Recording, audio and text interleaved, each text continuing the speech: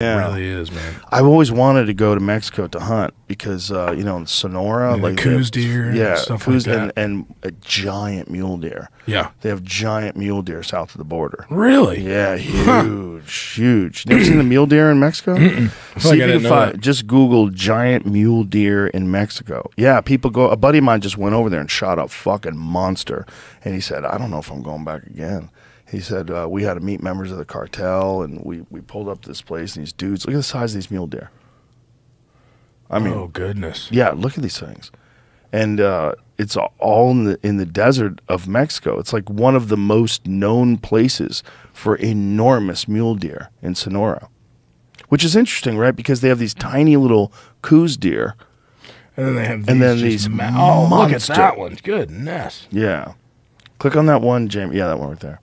Look at that fucker. Good night, dude.